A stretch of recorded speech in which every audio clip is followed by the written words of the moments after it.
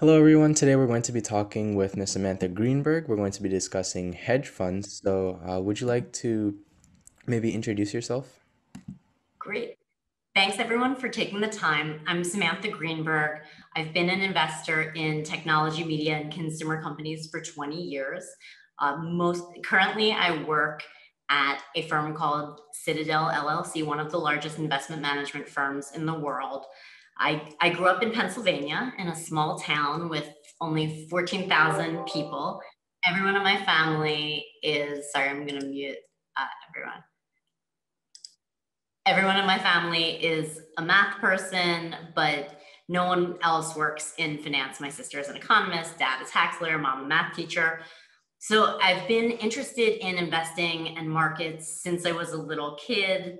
Uh, my family likes to tell the story about when I was in second grade, used to stay inside at our beach house and watch what's today CNBC and watch tickers go across the screen um, and, and look up stocks and, and write them down. And so, and by high school, I was re economics was my favorite class, was reading deal books. Uh, and so, and following news about mergers and transactions in the news, I knew I wanted to go into finance. And so I applied early decision to Wharton School at University of Pennsylvania, became a finance major, and went to work at business, and later went to business school at Stanford University. And so just to wrap up, I've worked in, in the investing industry now for 20 years. And I just, I have a passion for investing that runs so deep. I truly can't imagine doing anything else. Um, I find happiness and fulfillment doing deep dive research into companies, technologies, industry trends. And so, if you remember one thing about the, this conversation, I would advise any young person that in order to be successful in your career path, you need to figure out, you know, what it is that you love, and you need to choose a profession and an industry that you truly love. A professor of mine once said that work should be more fun than fun that won't be true 100% of the time but the best way to succeed is to love what you do and find a way and find it you know fun to do your job. Awesome. Thank you for the great advice and introduction. So i guess we'll get started with the basic questions. Um, how did you get involved in the hedge fund industry right? You said you were interested in finance so how did you you know end up working in hedge funds yeah, it's a great question. So as we talked about, I, I loved stocks, had been interested in investing since I was a little kid. Uh, by the time I was in graduate school at Stanford Business School, I by then had had my own brokerage account for years where I do just in my spare time my own research buying stocks in my personal account. So I thought, you know, I love doing this. I'd probably love investing as a job and a career, not just a hobby. I tried a summer internship in the investing world during business school and I loved it. And that was a particularly interesting summer because it was, and this goes to why the hedge fund industry, it was summer of 2002. And so the world had just come off of a market meltdown in following the internet.com bubble. And in summer of 2002, there were many companies who turned out to be engaged in accounting fraud.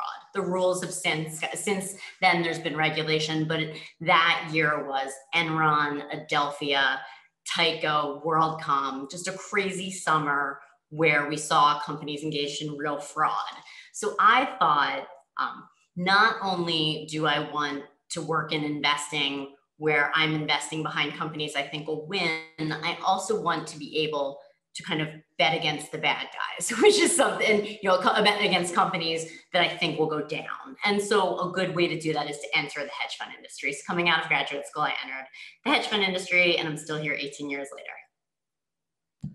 All right, so that was one level of specialization. Let's talk about the next level of specialization. How did you come to, you know, become an expert in technology, media, and telecom, which is where I believe you are, um, you know, most experienced? Yes, uh, I've always been fascinated by technology and innovation. Um, when I first graduated from college, I worked in investment banking at Goldman Sachs, and I mostly worked on technology mergers. It became, you know, at that point, such a passion that as I moved into investing, I, I stuck with that industry. Awesome, awesome. It's good to follow your passions and turn interest into an actual job. So, what inspired you to start your own hedge fund? Was it just the same, or you know, what's the difference between working in one and starting your own? It's, it's such a good question. So I've along with investing, I I love the idea of building a business and I've loved entrepreneurship and business building since the beginning of my career. I actually left investment banking to go work in technology private equity at a firm called Francisco Partners, which today is a huge technology private equity firm. When I joined, it was a year before we had even launched the first fund. All of us sat in like one little room together on Sand Hill Road in Silicon Valley and had the chance to help build the entire firm. And that was that was something an exciting experience that had always stayed with me. Stanford Business School is very focused on entrepreneurship. And so the decision to start my own firm, after I'd been in the hedge fund industry for 13 years, I had been promoted to partner at a very large hedge fund and by that point after you know 13 years experience investing deploying capital being promoted into senior leadership it had always been my dream to build my own investing process and culture the way i think the way i felt it should be done and so you know that was kind of when I seized the opportunity. Awesome, awesome. So, um, how exactly do hedge funds work, right? What investing methods do they employ? Is it just, you know, short and long positions? Or are there a lot more things that we need to be aware of? Yeah, it's a great question. So, a hedge fund is an investment partnership. There's a pool of money that investors contribute, and that pool of money is managed by a professional manager the hedge fund manager. The goal of a hedge fund is to maximize profits or what we would call investment returns and to minimize the risk or the volatility associated with that return.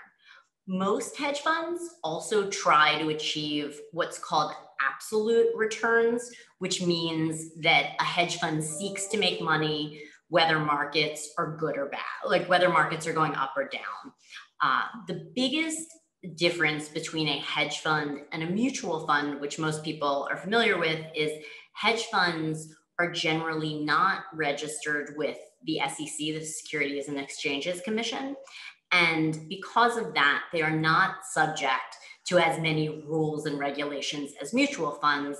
Because of that, hedge funds can employ more complicated investment strategies, they can use borrowed money, and they're generally considered, because of those things and the more flexible mandate, riskier assets. So, because they're considered riskier assets, they can only be sold to carefully defined categories of investors who are considered sophisticated investors.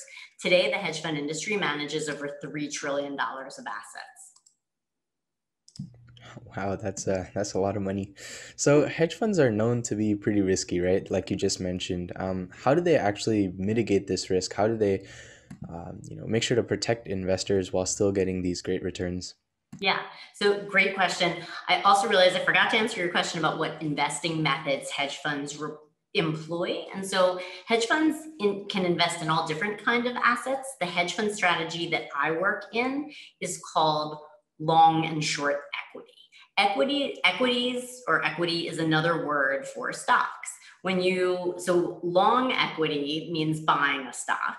Uh, a hedge fund manager would go long a stock or buy a stock because the manager's research leads the manager to believe that the stock will go up over time. A short shorting a stock is when a manager borrows a stock that they don't own, sells that stock, and they do that because they believe, based on their research, that the stock's price will fall um, based on bad expected bad performance of the company or other bad news expected from the company, and that will cause the stock price to go down. At which time, the manager would buy the stock back at a lower price and return it. So, long short equity, which is the strategy um, that that I work in, and one of the bigger strategies within hedge fund investing simply means buying stocks that you expect to increase in value and shorting stocks you expect to decline in value. And so, to your question about how do hedge funds mitigate risks, again, again, because hedge funds aren't subject to the same rules as mutual funds, they one of the things hedge funds can do to try to manage risk is um, well, they actively hedge, which simply means reducing exposure to risks the manager doesn't want a very common example of hedging is shorting, which we just talked about. Um, the types of risks a hedge fund manager might look to reduce their exposure to could be the risk of the stock market going down, the risk of a particular industry, or the risk of like something mac something um, a macroeconomic circumstance like a trade war with china or or like the pandemic and so um, let me give you an example. Let me give a real what an example of risk mitigation. So let's pretend that I want to buy Snapchat stock because I think Snapchat has a strong lineup of new products coming out, and you know I think the stock is going up. If I only want exposure to Snapchat's own company specific products, but I don't want exposure to Snapchat's industry, which is the internet industry, one thing I could do would be to buy Snapchat and then short a different internet industry company. Let's just use Pinterest as an example. Um, and then what I'm capturing there is I don't have the risk of the internet industry. I just have the risk that Snapchat's products and business will perform better than Pinterest's. Another way I could, I might look to hedge my risk is I could buy Snapchat but I could say, okay, I love the internet industry. I think that the business is going really well. I just don't want exposure to the stock market. And so then I could have a short against the stock market with a long in Snapchat. And then I do have exposure to Snapchat's products to their industry, but not to the market going down.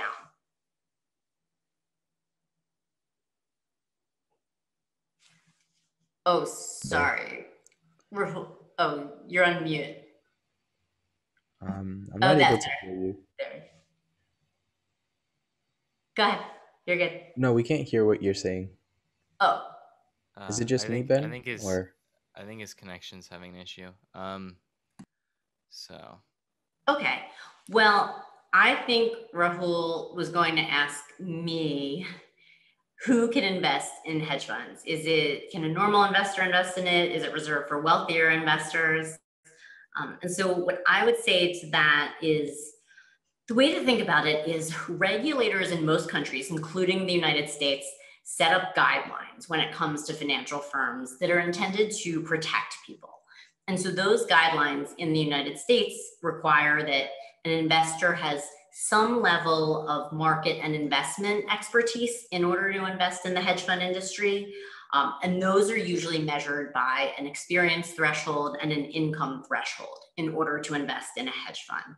So you can think of it as a consumer protection framework where the regulator, the United States regulatory agency, is trying to protect investors from complex financial instruments and make sure that invest only investors who understand the financial instruments are investing.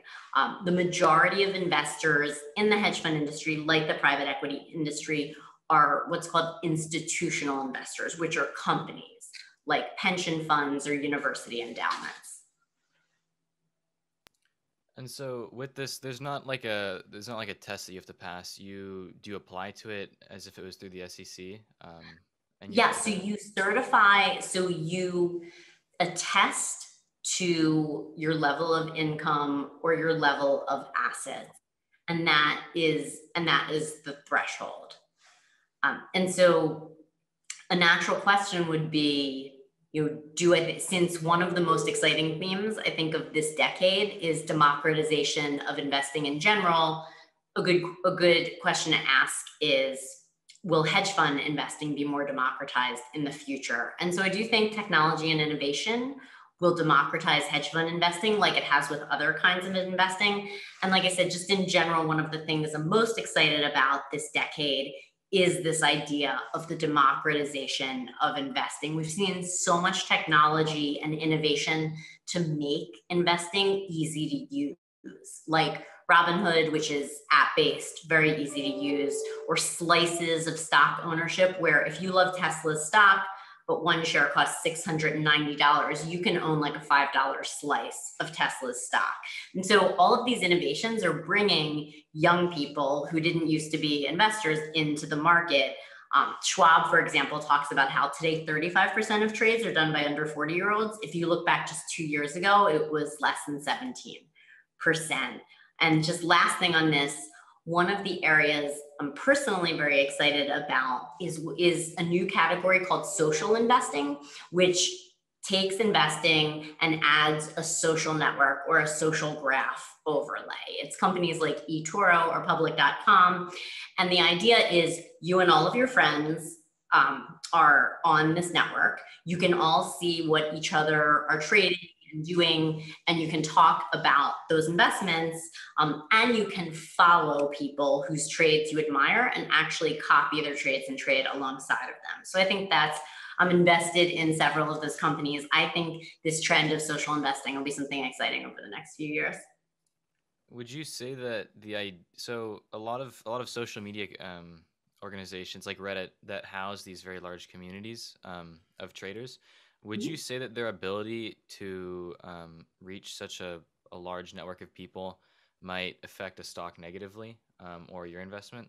Because if you had um, a short on GameStop and then Wall Street Bets decides to pump it up because they can all view what each other is trading and you lose a ton of money, would you say that maybe in that case social investing wouldn't be as good?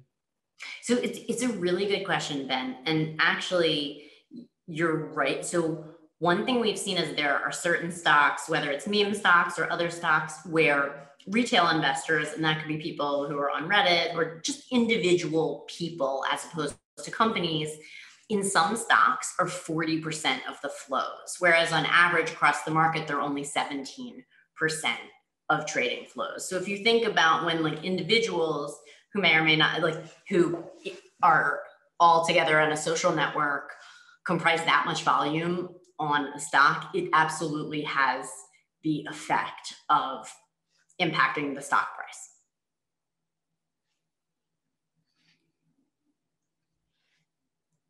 Difficulties. It's just been a rough day. So, which question were we on? Um, so, we were about to talk through um, the differences between long and short equity investments. Uh, I think we mostly covered it. I'll just say that, you know, again, a short equity investment is when you borrow a stock that you don't own, sell that stock, hoping the stock price goes down based on your research and then you buy it back at a lower price and return it. And so and so um the only other thing to point out is sometimes you might short a stock not just because you think it's actually a bad com not for the reason that you think it's a bad company instead because there's some risk in your portfolio that you just want a little protection against so a good example might be let's pretend that i own a lot of video game stocks and so i want some protection um, i'm very positive on my video game stocks. Let's pretend I own Roblox and Activision, which makes Call of Duty. But I'm worried that as we're coming out of the pandemic, as people go back to work, go back to school, they'll spend less time with video games. And so I want a little protection against that industry risk that video engagement goes down temporarily. One thing I could do is find a video game stock that I don't necessarily think is a bad company. I might think is a good company, but I just think it won't go up as much as as Activision and Roblox in this example. So let's pretend I short Electronic Arts, which makes FIFA and Madden. I might think that's a good company and the stock is going up, but I but because it I don't believe it will go up as much as Activision and Roblox it protects me if the industry goes down for one reason or another. Let's say there's like a law that comes out in the US restricting video games. Uh, I have some protection against the industry risk. Um, and so that would be an example of there's times where you short a stock where you don't actually think the stock price will go down. You just are protecting against some other risk in your portfolio and think it won't go up as much as the stocks you own. So basically, like an insurance policy for stocks. That's a, that's a great way to think about it. All right. So um, while I was, you know, unable to connect, did we already go over, um, you know, accredited investors and you know just all of that? We we did. Okay. We went, okay. Yeah. Exactly. Great, thank you. So then, in that case, we'll just move on to the next question. As a specialist in the consumer sector, how do you think the American economy and just you know spending in general will bounce back from the effects of the pandemic? Yeah, great question.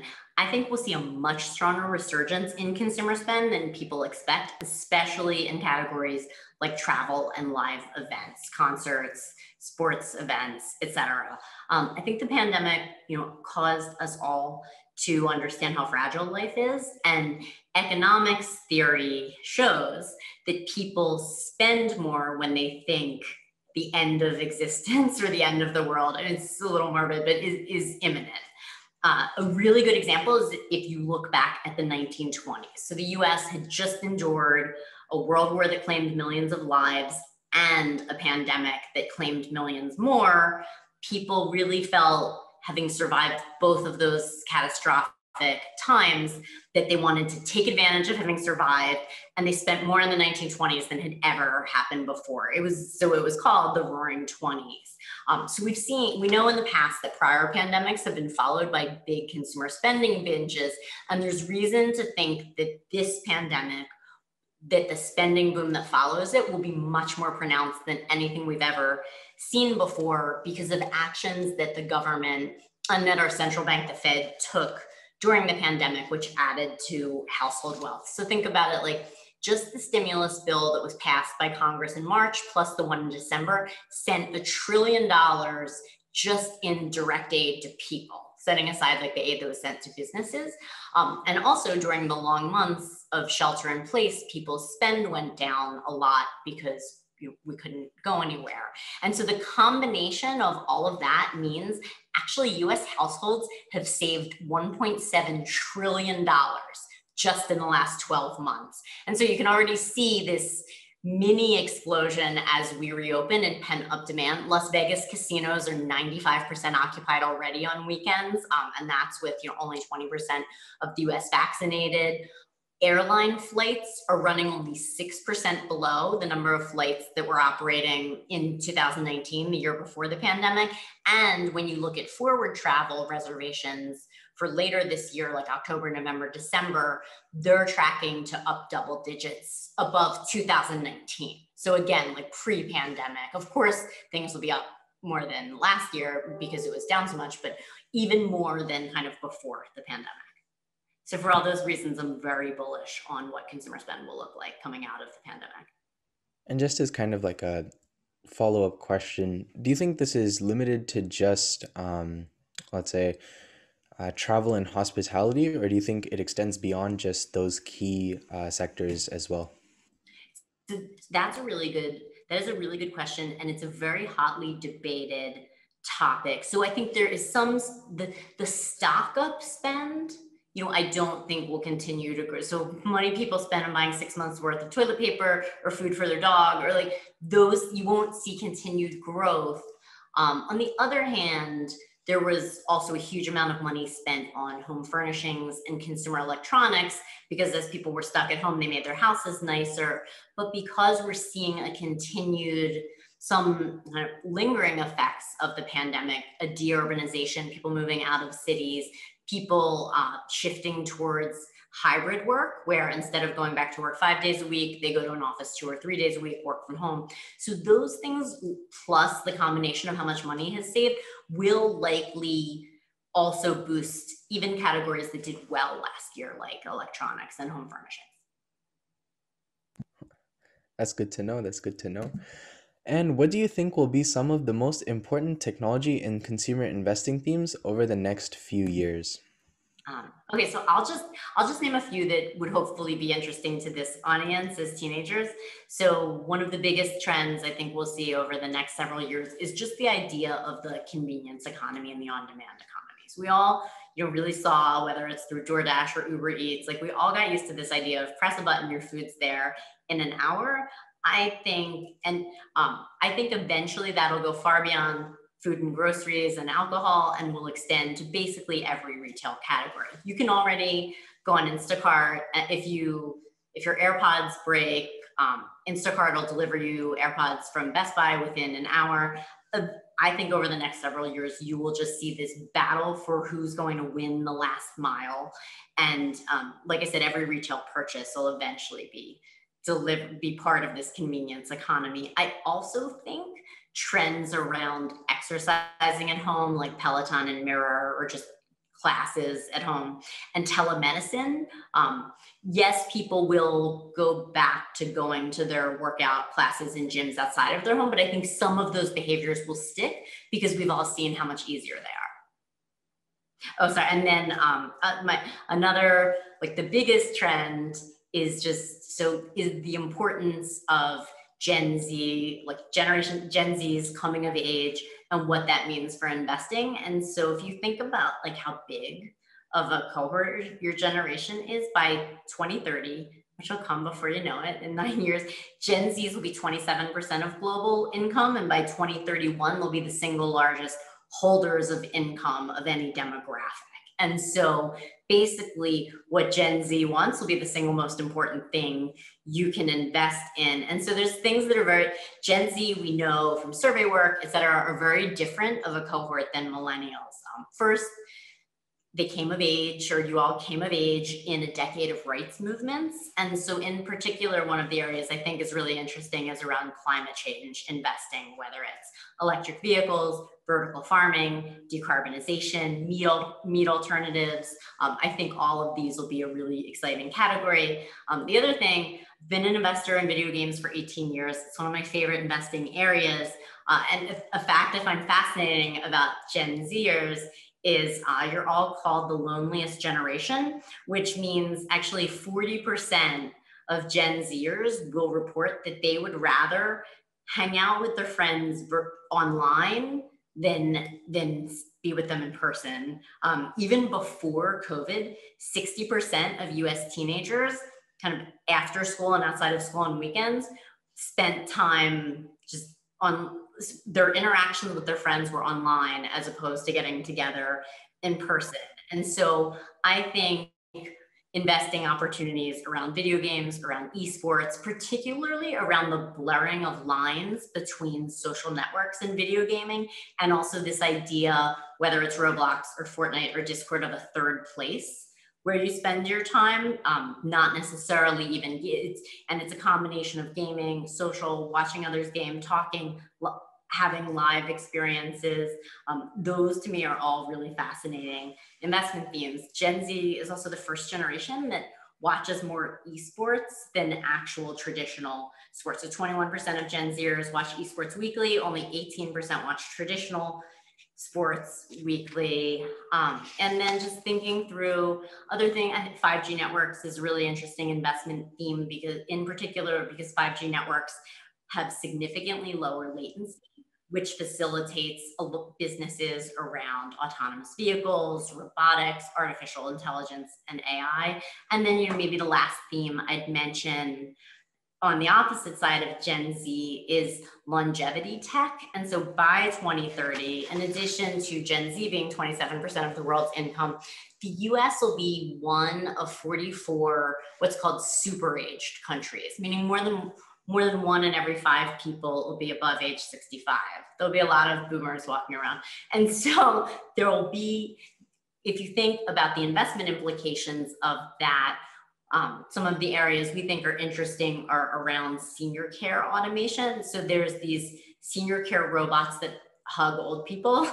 um, or around people will have, people will work longer since they're living longer. So reskilling, digital learning, um, just all the different business models based on longe- longevity tech.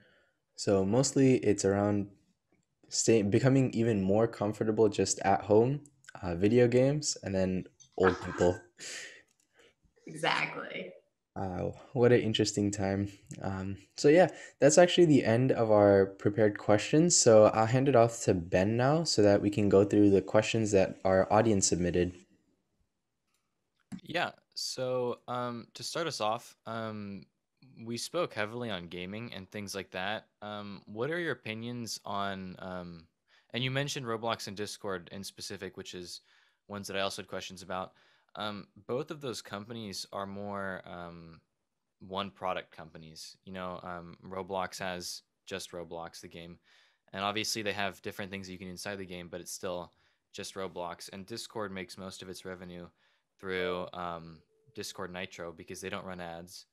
Um, so, what are your opinions on these companies? I mean, obviously they're going to have um, a big position in the gaming space, but it doesn't seem like they have many different forms of revenue. Yes. Okay, so let's start with Discord because that is a really good point. So, to make a comparison to Facebook and Mark Zuckerberg, one of the ways they built their business is they just they have a belief, rightly or wrongly, that you build the audience first and then you monetize the audience because it's much harder to build a huge community than it is to find ways to get money from them. And so there used to be this rule of thumb like, let's get to a billion users before we even try to monetize. And so I think you see a lot of that with Discord. They have 140 million monthly users. 70% of their users actually use them not just for game. it, it is definitely the primary use case is gaming, but 70% of users are using them for non-gaming conversations in addition to gaming. And so if you think about, you're right, Discord Nitro is definitely a monetization driver. Um, also in at a kind of, there's, it's a freemium model. So there's you know, one layer of personalization that's free. After that, if you want to buy custom emotes or avatars or server boosts. So there's all kinds of in-app purchases that you can make. Um, but the way if if Discord wanted tomorrow, what I'm trying to say is the hardest thing is to build the user base they've built and like the stickiness and the passion of how many people use Discord and how much time they spend. Um, if they wanted to, for example, have advertising, the they'll do like Discord did 130 million of revenue last year. They'll probably do around 250 million this year, 400 million next year. If they were offering advertising instead of having, you know, instead of doing 250 million of revenue this year, they could add another 500 million of revenue. And so I think with Discord, again, a lot of it is the idea of believing that they're going to build the community first, monetize it later. Um, so and so with Roblox, it's different. You're right. It's only um, it's one game, but the way, but they would say it is also about again these blurring of lines between gaming and social networks, and so people. The vision is over time, just like something like 12 million people watched the Marshmello concert on Fortnite, you know, all at the same time. The idea is like you'll have your birthday party on Roblox. There'll be all these live events and experiences on Roblox. And actually, like a thing that is that I have to give that blows me away a stat about Roblox is so the average user, monthly user of Roblox is spending 152 minutes a day on Roblox, that's more than like a console user, like a PlayStation or an Xbox user. They spend about 150 minutes playing kind of everything they'll play in the day on PlayStation and Xbox. So the engagement and the passion for Roblox is like is shockingly amazing. Um, they only if you think their audience, and I'm not saying I think this, but if you define their audience as people age six years old to 24, so right now 55% of their users are under age 13. So we can have a debate on you know who we think is their address, addressable audience. But in the countries they that Roblox is offered in, where they do local language, they're only penetrating six percent of people aged six to 24. So yeah, I, I understand what you mean by um, the freemium model and growing their community because I've been using Discord since I think I signed up January second of 2017. Wow. Um, and so just from personal experience, I I love the the company and I love their product, um, and I use it every day. But I I haven't seen, as you said, freemium. I haven't seen a need to ever pay for their premium services. You know, their their base their base service is so good that I would think that one would never really need to pay for the premium. But if they grow their community like that by offering such a good product, then they could monetize it. All right. So, um, next one. So you earlier you spoke about um, immense spending after um, wars and pandemics and things like that, and that was clear in um, after World War II. I believe the GDP went up about thirty percent, mm-hmm. um, or it might have been during to the end. Um, but that was because the need for Europe to repair um, all their cities, and so they went to the U.S. for production, things like that. Um, so, how would you say GDP will be um, will be affected after the pandemic? Um, and what would you say is the biggest driving factor? Yeah. So, you know, so we will likely see at least kind of high single digit increase in GDP this year, which is, you know, the most significant economic growth we've seen since 2009 to 2010, exiting the financial crisis. Um, and the driver of that growth will be primarily consumer spend, uh, but you will certainly, you're certainly seeing continued corporate spend. So even though consumer spend, as we talked about, households have saved 1.7 trillion dollars over just over the last 12 months between stimulus money and spending going down. Um, companies have also, because employees aren't traveling, uh, people are working remotely, so you don't have a lot of the in-office expense. Companies have saved a lot of money too, and so uh, as, so as companies start to bring people back to the office, resume corporate travel, resume the kind of tech projects that they had had to put on hold. So if you're doing like a huge implementation of a software product, that was put on. Those kinds of things were shelved during the pandemic.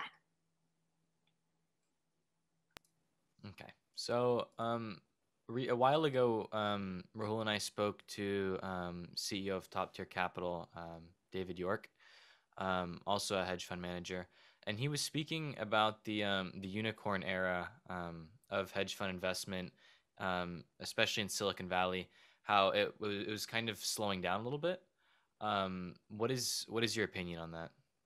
So when you do you mean investing in private companies that are unicorns that are over a billion dollars in valuation? Um, not necessarily. I, he spoke mainly about um, just these companies that it was almost guaranteed success on an investment um, coming out of the Silicon Valley boom. Okay.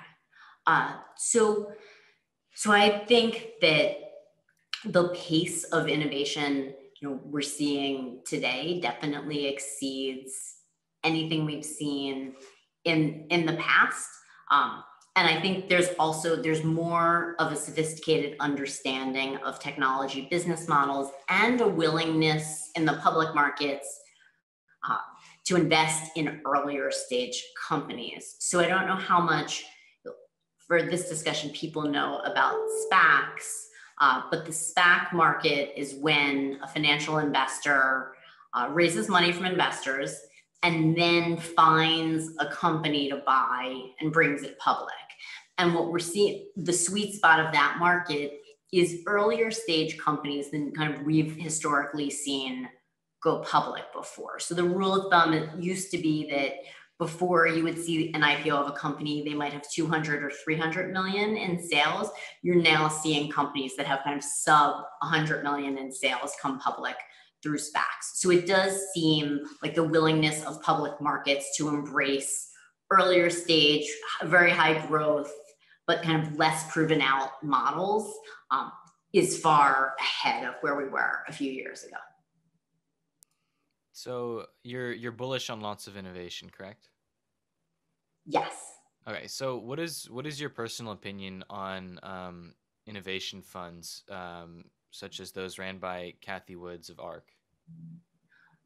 Oh, um, so I haven't done. I haven't specifically analyzed ARK's funds enough to have a view specific to ARK. But what I can say is what uh, Cathie Wood has done, again, is one of the things I love about these social investing companies is the idea of putting together thematic portfolios where, again, investing is democratized because anyone they're they're set up in mutual fund structures or in smart portfolio structures where anyone can invest in them. And so I do think what she you know, has made very famous through her ARK Innovation Funds is something we will see a lot of going forward. Again, if you look on some of the social investing brokerage platforms, they might have all different themes, whether it's space commercialization or climate change, uh, and you can just invest in a smart por- portfolio that's put together on those brokerage platforms. And again, it's just a mutual fund that anyone can invest in. So I think she has really started a trend that is here to stay in different forms although i can't speak to you know what all like you know the I don't know her funds well enough to have an opinion of them specifically. Okay. Um, this next question is more career oriented. It was um, Do you think the management consultant route or the investment banking route is best to prepare for a career in private equity? Well, so um, you guys are going to hate this answer. I would say they're both excellent ideas. Some of the best venture capitalists out there came from consulting. Um, because in consulting, you really deeply get to understand strategy and problem solving for businesses. And so, if you want to invest in particular in earlier stage companies where what they will value in an investing partner is someone who can help them through transitions, help them build the company, make the right hires, you know, get from a place of being very early to more mature. Um, then consulting is kind of the perfect way to embark on a career in investing. So, and, and that would also be true, not just for venture capital, but also for private equity, because in private equity, you're buying the entire company and then you're going to operate it. So people who've done strategy consulting really have exceptional skill at that operating side of the business. Um, investment banking is perfect training if you want to go into a hedge fund where you're analyzing public companies, where the analytical skills, be um, building company models, understanding how to look at all the different business drivers of a company. Um, that's a ver- that's the most one of the most important skills in hedge fund investing. And so a simplistic answer. So they're both perfect. You know, they're both amazing choices right out of college that will position you well for a career in investing. If your passion is for something like private equity or venture capital, I would say consulting. And if your passion is to go for, to a hedge fund, investment bank. Okay. And so, what you mean by consulting is just companies like um, McKinsey and Company? Exactly. McKinsey, Bain, BCG, Boston Consulting Group, um, strategy consulting, jobs. Okay. Um, so I think what we're going to do is open it up to um, live audience questions. Um, and so I will let Rahul take it from here um, with regards to that. Great. But, um, thank you. Thank you. Yeah, thank you, Ben.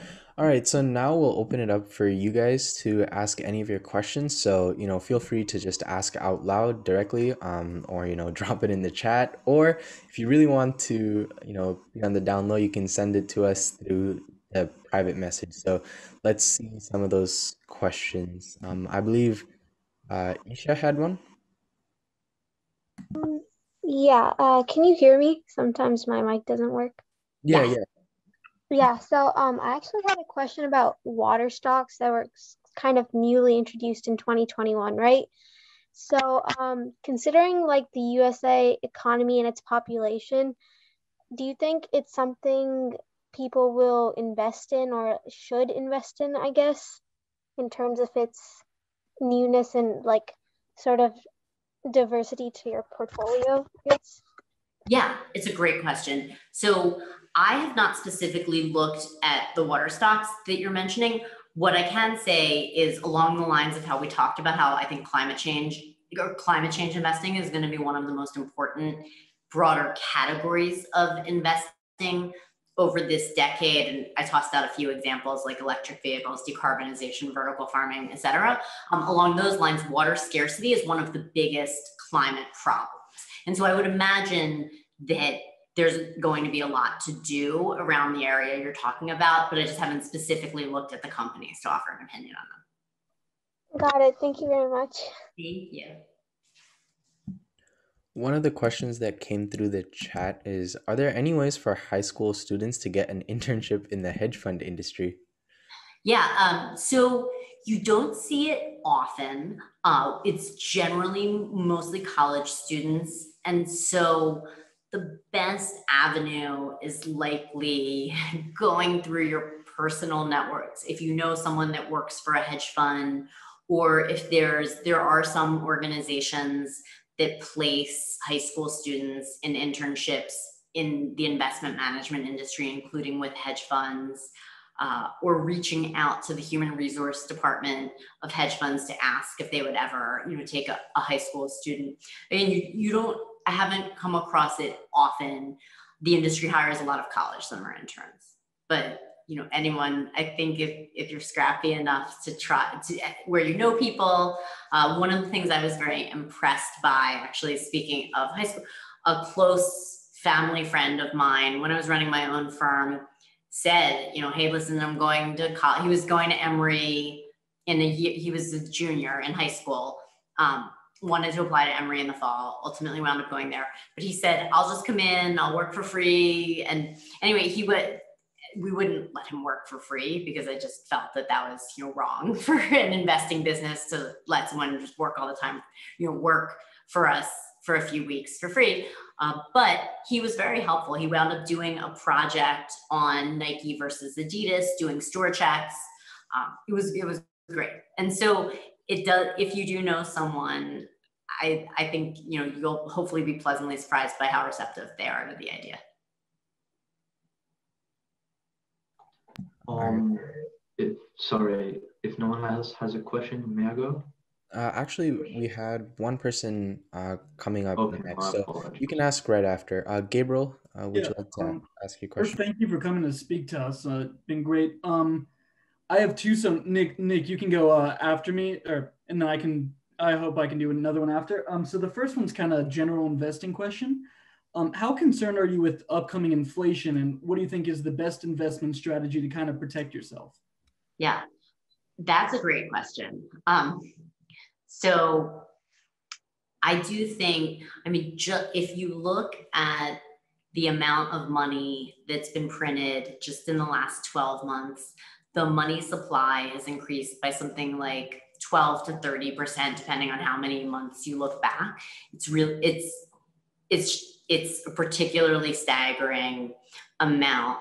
Um, people worry during periods of time. So coming out of the financial crisis in 2008, there was definitely a real concern about, you know, there was so much as, in order to pull the economy out from the impact of the financial crisis in 2008 again the, the fed did similar things not on the not at the magnitude of um, the pan of the covid pandemic but where they increased the money supply double digits. And there was a fear of inflation which never proved out because unemployment was hit so hard that it took years um, for there was enough slack in the economy that no, that the money printing didn't cause runaway inflation. I think this time is a little different because um, all of the legislation that's been put in place, the stimulus payments, the increases to unemployment, um, people, the kind of average income to uh, for unemployment and stimulus, which only lasts for a few months, is higher than the average job. And so you are seeing, so you don't have that same slack in the economy that you had during the financial crisis. And so I, I do believe we are going to see that the increase you're seeing in interest rates is the right prognosticator of the inflation we will see in the economy. And so there's different ways to people in general invest when they're worried about inflation. Um, if you're really extremely worried, so the US dollar has devalued about 5% in the last year. If you're really worried about, you know, that you have no faith in the government, that, that we don't have confidence in the government being responsible fiscally and pulling back some of the stimulus over time and kind of having tightening policies to offset the stimulative policies that we've seen. Uh, there's inflation hedges like gold. Um, some people would argue Bitcoin accomplishes the same thing in that they're assets that have very low supply growth. Gold supply growth only grows about 1.3% a year. Bitcoin, even a little less now, because only 21 million Bitcoin can ever be created. And so, at the extreme, the way you would protect if you were worried about inflation would be infl- traditional inflation hedges, which are assets that have li- very limited supply growth. You can't just print gold. Um, that's one way. Another way would be to invest in investments that benefit from inflation. And so that's generally assets with a lot of pricing power. Um, hotels uh, is a good example that people believe in. Um, another example would be companies that make money when interest rates go up. Banks are the classic example because banks pay you money when you when you keep your money in a bank they pay you money and then they lend out the money at a higher interest rate. And so as interest rates go up they can lend at higher or the spread that they make improves